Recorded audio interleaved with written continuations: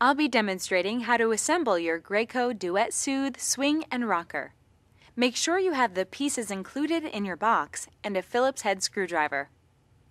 Wrap the seat pad over the tubes on the seat.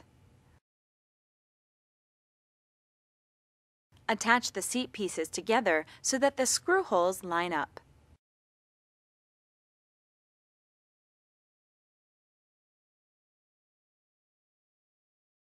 Fasten the screw on each side of the seat securely.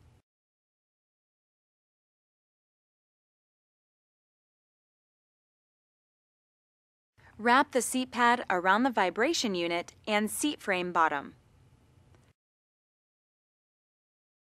Attach the elastic strap to the hooks on both sides of the seat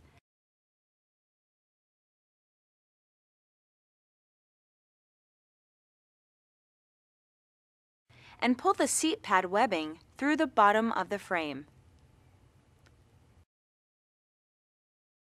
Insert the seat tube into the brackets on the area of the seat with the snaps facing away from the recline handle.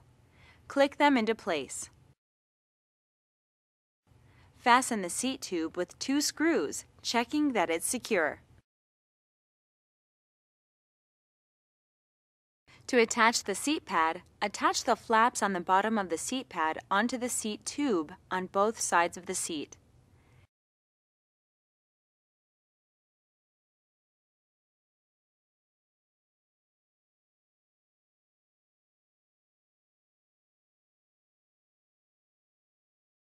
Next, connect the two side legs with the connecting bar, securely snapping it into place.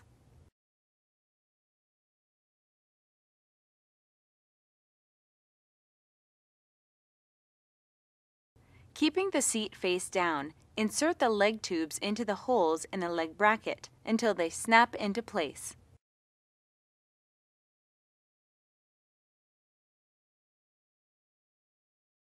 To assemble the swing frame, lay the unit down on a soft, flat surface. Gently plug the wires together and insert them into the tube.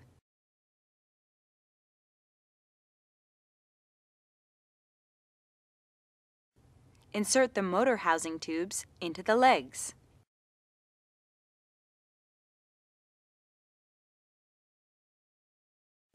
Insert the vertical tubes into the base tubes, clicking them into place.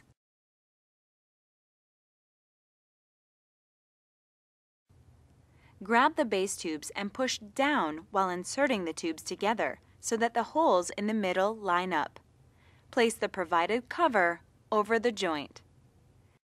To attach the rocker seat to the frame, insert the rocker arm tubes into the handle until they snap into place.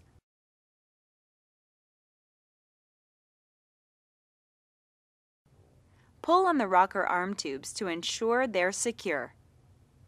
Insert the rocker arm tubes into the sides of the rocker seat and click them into place.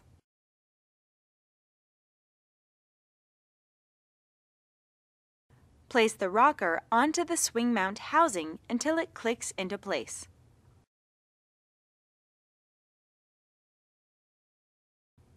Please read your manual thoroughly before using the Duet Soothe.